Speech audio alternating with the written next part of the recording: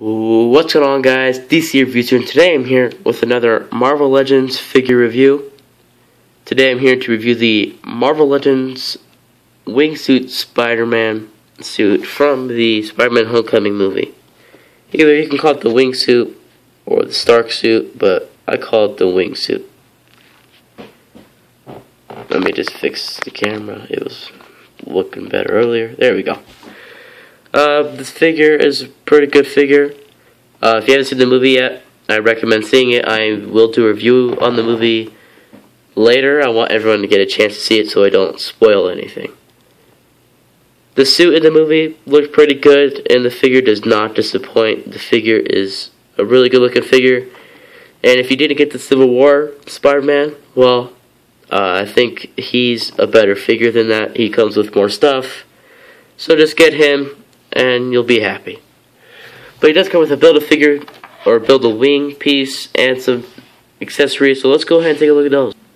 So this piece, I think is like maybe a middle piece to the wings. I don't really know.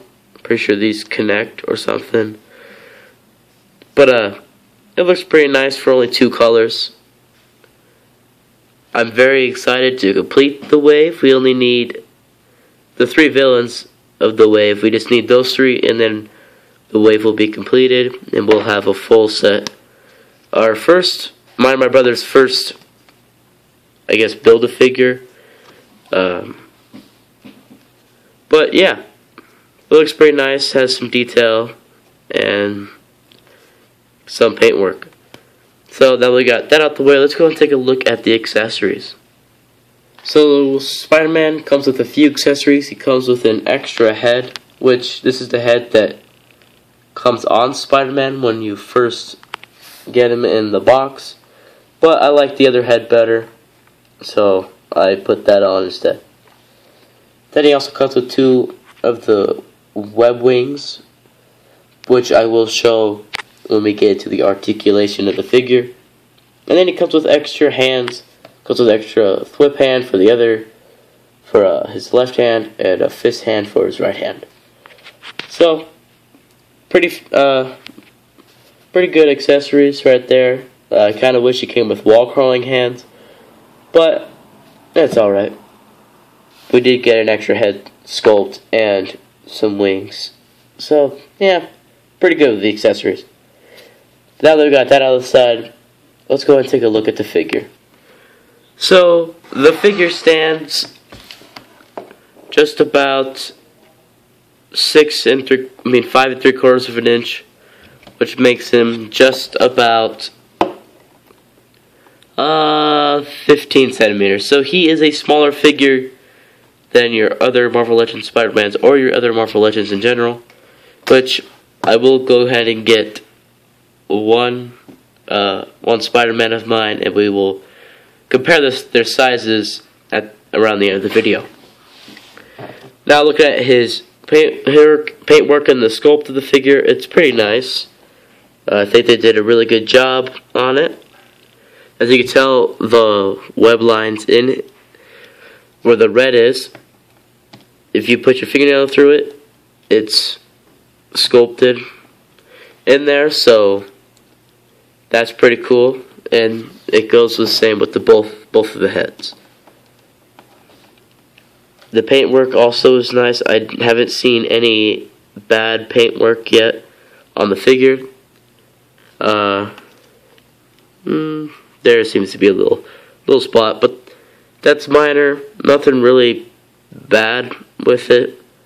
Uh, as you can see, there's some lines right here on his legs, going down and on the back of his legs.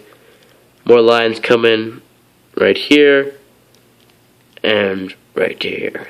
Same on this side. So they, they put a lot of detail into this figure. Now, looking at the articulation, the figure, his head can go all the way up pretty much. You can look pretty much just straight up.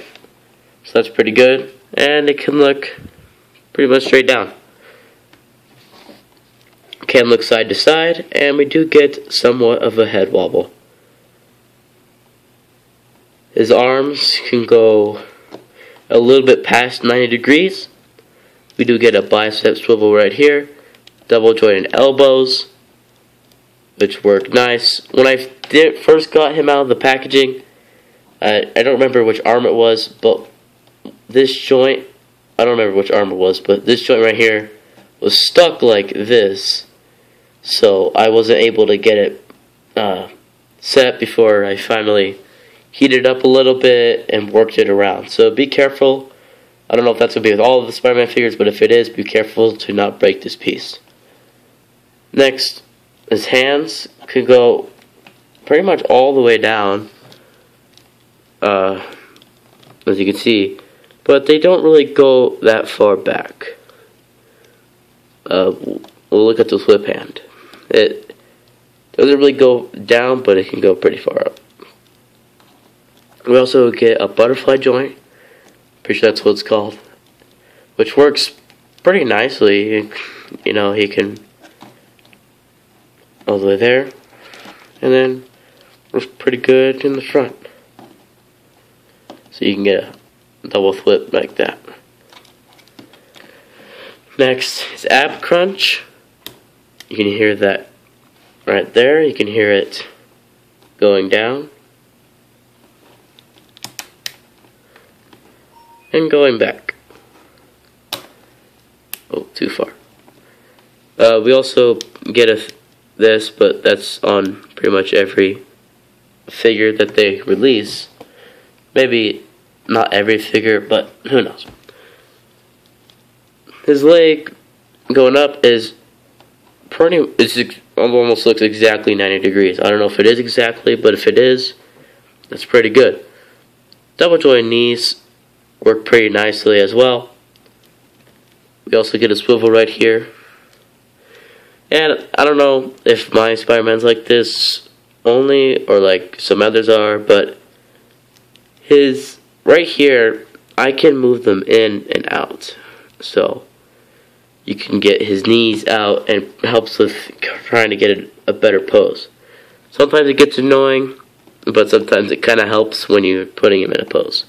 So who knows? I don't know if you guys, if your guys' Spider-Man have those, but mine do. He can't really do the splits. He can barely go out far enough. But, uh, I mean, that's not bad. But for a Spider-Man figure, you'd think he'd be able to go almost all the way. We don't get a thing right here like we do with the homemade suit, but we do get an ankle thing, so it can go that far down, that far forward, and we do get a nice ankle pivot or an ankle rocker, whatever you guys want to call it. So, we're gonna go ahead and get my spider. Uh, excuse me, jeez. I'm gonna go ahead and get a Spider-Man so that we can compare the sizes between the two. So I'll be right back, guys. So the first figure that we're going to compare sizes with is the all-new 2099 Spider-Man. And as you can already tell, he is a little bit taller um, if you have not seen the review for this guy, be sure to go check it out. Uh, I'll leave a thing at the end of the video to go so you guys can click on it and watch this review. Uh, he's a pretty good figure as well. But if we compare sizes, bam, he's a lot taller. So, yeah. Which makes sense. I'm pretty sure Miguel O'Hara, which is 2099 Spider-Man, is like an adult in the comic books, while as him in the movie, he's a 15 year old kid. So it kind of makes sense that he's small. But we're going to go ahead and look at one more figure, so I'll be right back, guys. Hold on. So the next figure that we're going to look at is the Jungle Demon Predator from the 30th anniversary line. Um, as you can see, he gets to right here. So that's how tall he is compared to a predator. So he is pretty small. I mean, predators are big anyways, but he is very small compared to him. He's yeah. So Now I got the comparisons out of the sun. I'm just going to move him over here. If you haven't got this figure already, I do recommend getting it. He is a great figure. If you like the movie, you're going to like the figure. If you like the suit, you're going to like this figure. But anyways, guys, I hope you guys did enjoy this review. And if you did, be sure to let me know by slamming that like button down below. And subscribe if you're new to my channel for more videos just like this one. But anyways, guys, talk to you guys later. Have a wonderful rest of your day. Bye-bye.